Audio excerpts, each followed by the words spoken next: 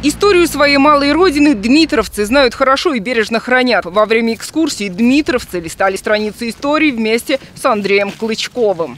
Город э, был основан, как я уже сказала, молдавским господарем Дмитрием Константиновичем Кантемиром на землях, подаренных ему Петром I а, в 1711 году. Можно ли представить себе посещение Дмитровска без сквера в честь Кантемира? Местные говорят, что нет.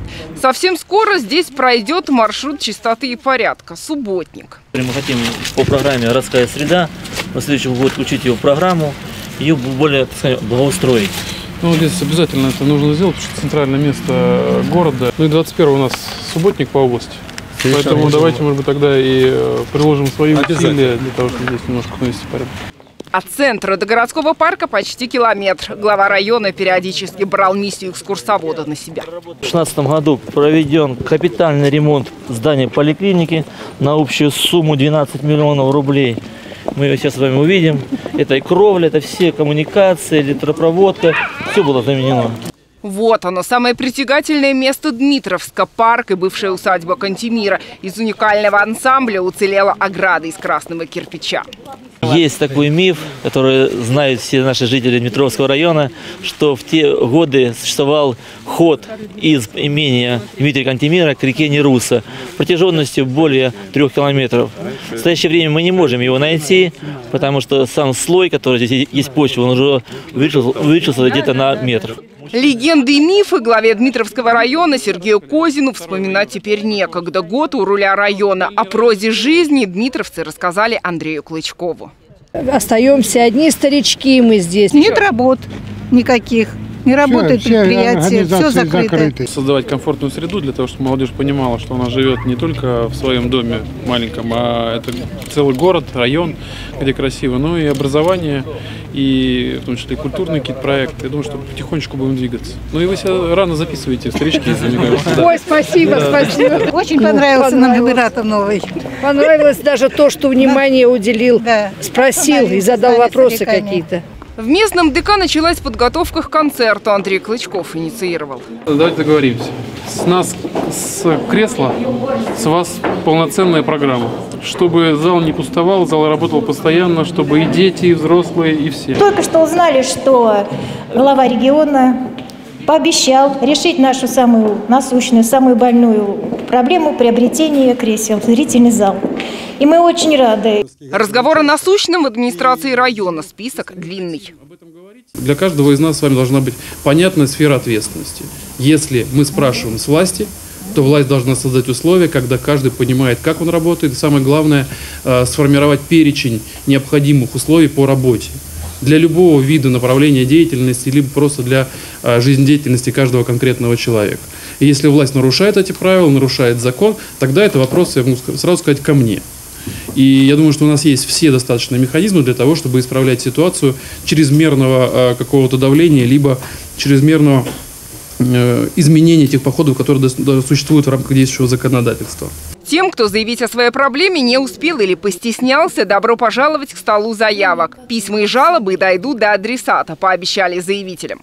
Мы сегодня же их регистрируем, и они идут на регистрацию. В течение 30 дней им дадут ответ согласно закону.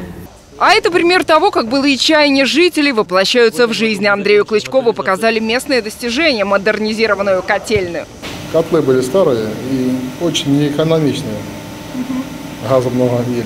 А теперь? А сейчас экономные стало.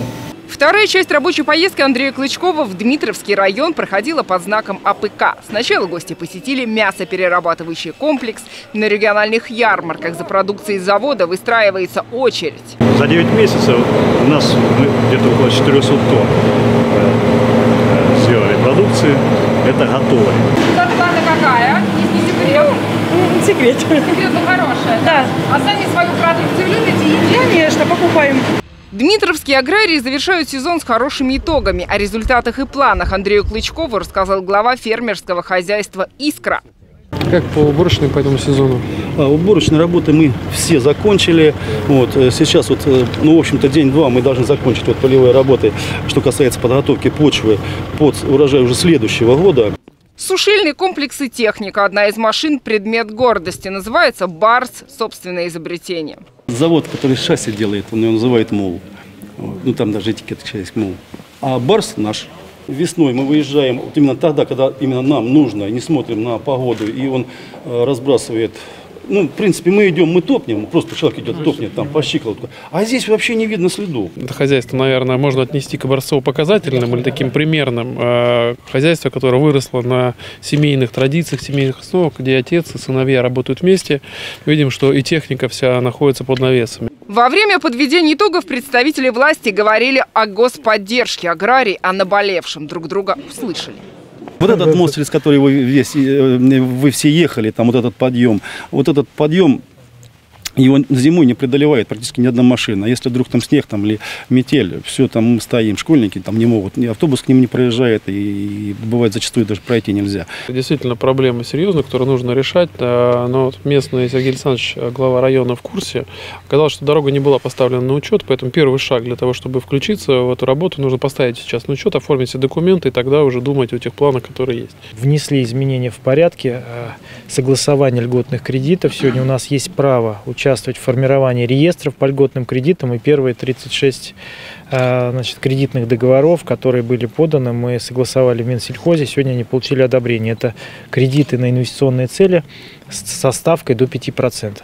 Уже скоро жители других районов смогут лично встретиться с Андреем Клычковым. Тем для бесед, судя по всему, будет немало. Наталья Пехтерева, Андрей Борискин, телеканал «Первый областной».